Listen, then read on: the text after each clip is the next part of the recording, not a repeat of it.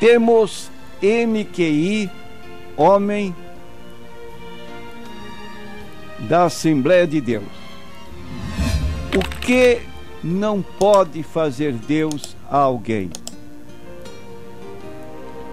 Deus não pode mentir.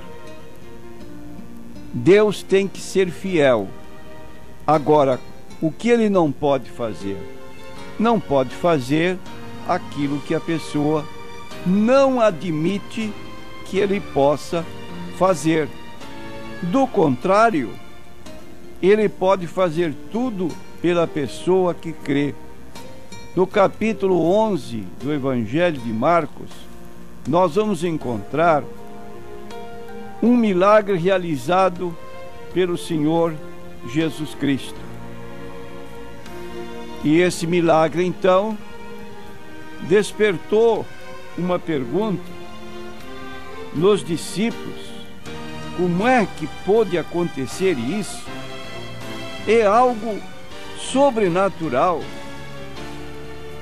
E Jesus então disse para aquele seu servo que eles tivessem fé em Deus. Porque se tivessem fé em Deus, eles poderiam fazer coisas iguais ao que o próprio Jesus havia feito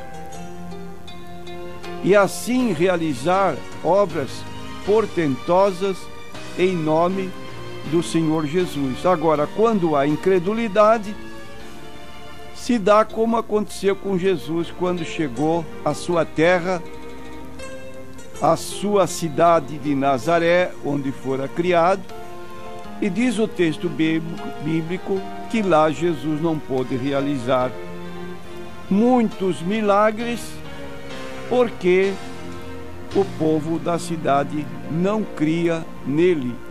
Está no livro de Marcos, nós vamos encontrar no capítulo 6 esta situação que se desenrolou durante o ministério do Senhor Jesus Cristo.